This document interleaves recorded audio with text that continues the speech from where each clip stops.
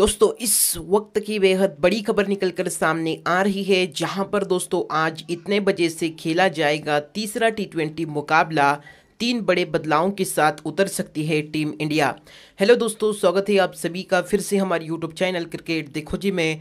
दोस्तों, आज के इस वीडियो में हम आपको बताने वाले हैं कि आज भारत और श्रीलंका के बीच तीसरा टी मुकाबला कब खेला जाने वाला है, कितने बजे से खेला जाने वाला है और कौन से तीन बड़े बदलावों के साथ टीम इंडिया मैदान पर उतरने वाली है पूरा विस्तार से आज के इस वीडियो में हम आपको बताएँगे। लेकिन उससे पहले अगर आप भी टीम इंडिया को सपोर्ट करते हो, भारतीय टीम को दिल से पसंद करते हो और आपको भी लगता है कि तीसरा टी मुकाबला टीम इंडिया जीत कर यह सीरीज़ भी जीत लेगी तो इस वीडियो को दिल से लाइक ज़रूर करें। दोस्तों, आज के इस वीडियो का लाइक टारगेट सिर्फ़ एक हज़ार लाइक का है तो दोस्तों, भारतीय टीम को सपोर्ट ज़रूर करें, इस वीडियो को दिल से लाइक ज़रूर करें। तो चलिए दोस्तों, बिना वक्त गवाए हम इस वीडियो को शुरू करते हैं। दोस्तों, भारत और श्रीलंका के बीच तीन टी मुकाबलों की सीरीज़ चल रही है। पहला टी मुकाबला पाँच जनवरी को खेला जाना था, जो कि बारिश के कारण रद्द हो गया। और दूसरा टी मुकाबला टीम इंडिया ने सात विकेट से जीत लिया। तो दोस्तों, अब यह सीरीज़ अब भारतीय टीम ने एक ज़ीरो से इस सीरीज़ में बढ़त बना ली है। अब तीसरा टी मुकाबला अगर टीम इंडिया जीत जाती है तो इस सीरीज़ को भी वह जीत जाएगी। दोस्तों, भारत और श्रीलंका के बीच बीच तीसरा टी मुकाबला 10 जनवरी 2020 को खेला जाना है। यह टी मुकाबला पुणे के महाराष्ट्र क्रिकेट एसोसिएशन स्टेडियम में खेला जाएगा। इस टी मुकाबले की शुरुआत शाम सात बजे से होगी और आप इस टी मुकाबले को स्टार स्पोर्ट्स नेटवर्क पर भी देख सकते हो। दोस्तों, श्रीलंका टीम की बात करें तो दूसरे टी मैच में उन्होंने कुछ खास प्रदर्शन नहीं किया है।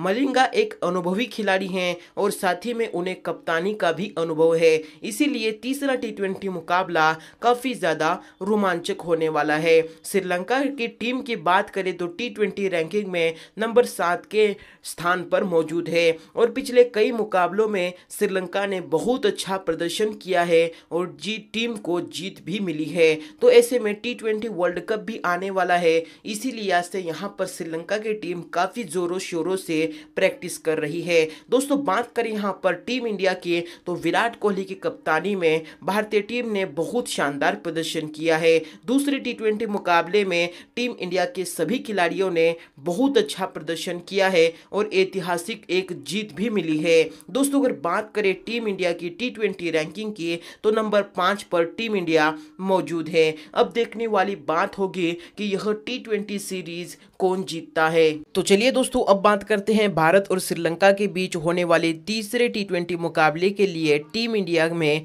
कौन से तीन बड़े बदलाव होने वाले हैं? कौन से तीन खिलाड़ियों की मैदान पर वो वापसी होने वाली है? पूरा विस्तार से आज के इस वीडियो में हम आपको बताते हैं। दोस्तों, बात करें यहाँ पर नंबर एक खिलाड़ी की तो दोस्तों, यहाँ पर संजू सैमसंग की टीम में वापसी हो सकती है। जी हाँ दोस्तों, यहाँ पर बड़ा बदलाव होते हुए इस घरेलू विकेट कीपर बल्लेबाज की टीम इंडिया में वापसी हो सकती है। दोस्तों, आप सभी को बता दें कि टीम इंडिया के संभावित प्लेइंग इलेवन में संजू सैमसंग को रखा जाता है, लेकिन जब भी कंफर्म प्लेइंग इलेवन आती है तो उस वक्त संजू सैमसंग को बाहर किया जा सक, किया जाता है। क्योंकि ऋषभ पंत अब बढ़िया फॉर्म में चल रहे हैं, इसीलिए संजू सैमसंग को मौका कम मिल रहा है। लेकिन तीसरे टी मुकाबले में संजू सैमसंग को टीम इंडिया आजमा कर देख सकती है कि किस तरह से वह प्रदर्शन करते हैं, किस तरह से वह बल्लेबाजी कर सकते हैं और विकेट कीपिंग भी कर सकते हैं। दोस्तों, बात करें यहाँ पर नंबर दो खिलाड़ी की तो यहाँ पर दोस्तों युजवेंद्र चहल की टीम में वापसी हो सकती है। जहाँ दोस्तों, आप सभी ने विश्व कप के बाद लगातार देखा होगा कि कप्तान विराट कोहली प्लेइंग इलेवन में कुलदीप यादव और युजवेंद्र चहल इन दोनों में से किसी एक ही खिलाड़ी को रख रहे हैं। इसलिए अब कुलदीप यादव भी, जब भी कुलदीप यादव को मौका मिला है तो उन्होंने बहुत अच्छा प्रदर्शन किया है। इसलिए कुलदीप यादव टीम में शामिल हैं। लेकिन अब यहाँ पर वक्त आ चुका है कि युजवेंद्र चहल भी टीम में शामिल होकर कुछ ऐसा कमाल कर दिखाए, जिसके बाद उनकी भी टीम में वापसी हो जाए। ऐसे में यहाँ पर युजवेंद्र चहल के पास भी एक सुनहरा मौका है कि टीम इंडिया की तरफ़ से खेलते हुए शानदार प्रदर्शन करे और टीम इंडिया को जीत दिलाए और दोस्तों, अब बात करते हैं तीसरे खिलाड़ी की, जिसकी मैदान पर वापसी होने वाली है। उस खिलाड़ी का नाम है रविंद्र जडेजा। जहाँ दोस्तों, टीम इंडिया के स्टार ऑलराउंडर रविंद्र जडेजा के लिए साल 2019 बेहतरीन रहा है। जिस तरह से उन्होंने वर्ल्ड कप कप में प्रदर्शन किया है। वर्ल्ड कप के बाद खेले गए वेस्ट इंडीज सीरीज़ में और साथ ही में बहुत अच्छा प्रदर्शन किया है। इसीलिए रविंद्र जडेजा को लगातार मौके मिल रहे हैं। लेकिन पिछले कुछ मुकाबलों में रविंद्र जडेजा ने कुछ खास प्रदर्शन करके नहीं दिखाया है, जिसकी वजह से कप्तान विराट कोहली ने बड़ा फैसला लेते हुए श्रीलंका सीरीज़ में अभी तक उन्होंने प्रवेश नहीं किया है। मतलब कि प्लेइंग इलेवन में रविंद्र जडेजा को शामिल नहीं किया है। तो ऐसे में यहाँ पर फिर से एक बार बड़ा बदलाव करते हुए तीसरा टी मुकाबला काफ़ी ज़्यादा अहम है और इस सीरीज़ का अंतिम मुकाबला है। इसलिए रविंद्र जडेजा को टीम में शामिल कर यहाँ पर कप्तान विराट कोहली बड़ा फैसला दे सकते हैं और टीम इंडिया को जीत दिलाने में रविंद्र जडेजा भी बेहतरीन प्रदर्शन कर सकते हैं। ऐसे में दोस्तों, आप सभी को क्या लगता है? क्या संजू सैमसंग की टीम में वापसी होनी चाहिए? क्या युजवेंद्र चहल की टीम में वापसी होनी चाहिए? क्या रविंद्र जडेजा की टीम में वापसी होनी चाहिए? उसका जवाब हमें कमेंट बॉक्स में ज़रूर दें। साथ ही में दोस्तों, हमें बताइए कि भारत और श्रीलंका के बीच होने वाला तीसरा टी मुकाबला कौन जीतेगा?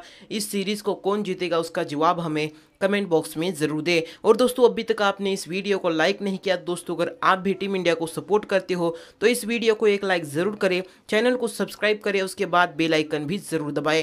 तो चलिए दोस्तों, आज के इस वीडियो में बस इतना ही।